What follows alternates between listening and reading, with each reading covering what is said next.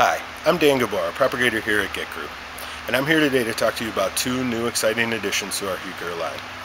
At Get Group, we are constantly looking for new and exciting plants to bring to our customers.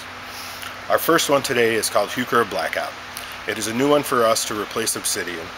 Um, it is a superior form than Obsidian, has a beautiful glossy jet black foliage and cream colored flowers that form a very nice contrast in the landscape.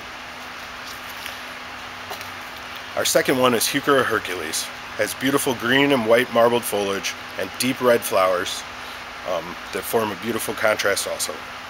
Um, it is shown that the marbling in this variety stands up a lot better than marbling in previous Heuchera varieties of this type, and hence the name Hercules.